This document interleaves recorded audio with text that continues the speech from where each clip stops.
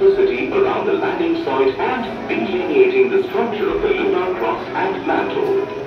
Laser Retroreflector Array, LRA, was a passive experiment to understand the dynamics of the moon system.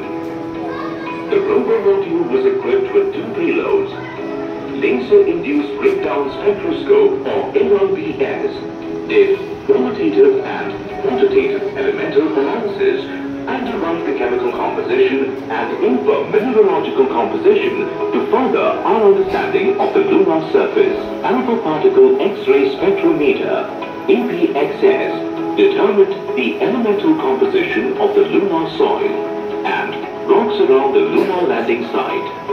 The LVM3 rocket successfully deployed the Chandrayaan-3 satellite into an elliptical parking orbit at a distance of 170 by 36,500 kilometers.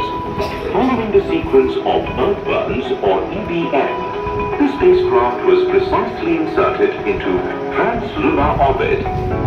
On August 5, 2023, Chandrayaan-3 successfully entered the lunar orbit at an intended distance of 164 kilometers by 18,000 at 74 kilometers.